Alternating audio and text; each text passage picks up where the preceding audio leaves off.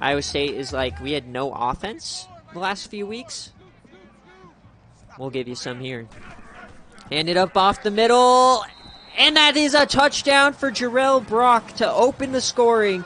Iowa State dominated that drive, and they take the early lead. Iowa's threatening.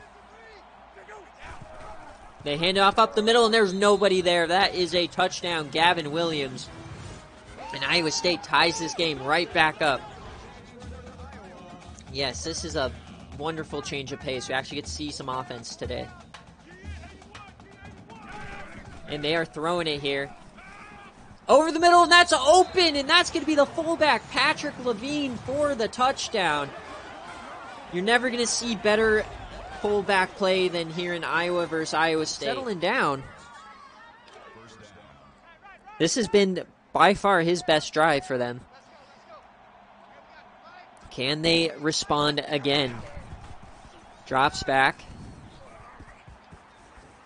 And that's wide open, and that's going to be Chaz Ralph. No, Keegan Johnson, my bad. Five defense. They're coming out in a goal line stand. This is what we want. Three tight ends, fullbacks, power running, and that's a touchdown for Brock.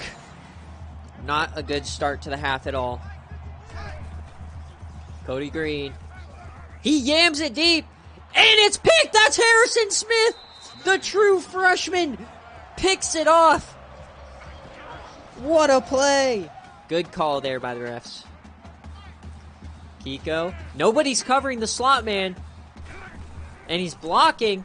Wide open. And he holds on to it. Daniel Jackson touchdown and Iowa State goes up two scores. Under center. Man in motion. They throw it to Cox and it's a touchdown, Mo Alley. Iowa State is rolling here at home. What can Iowa do? Triple option again. He gets the pitch out. Gavin Williams has all the room in the world, and Iowa comes back with a quick touchdown. Second and three. Inside the five. Kiko. Open, that's a touchdown, Stephen Moore. And Iowa State once again goes up 21. How high will Iowa State climb in the Coaches Poll? Yeah, this is the Iowa's first game of the season, so we have no clue.